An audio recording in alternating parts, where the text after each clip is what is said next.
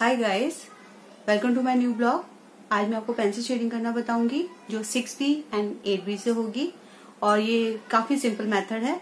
तो प्लीज़ अगर आप न्यू हैं तो सब्सक्राइब कर दीजिएगा और नहीं तो लाइक एंड शेयर ज़रूर कर दीजिएगा। थैंक यू फर्स्टली मैंने रफ स्केच किया है। और मैं सबसे पहले आईब्रोज और आई की डिटेलिंग करूँगी, क्योंकि इसी से हमारा कैरेक्टर आएगा।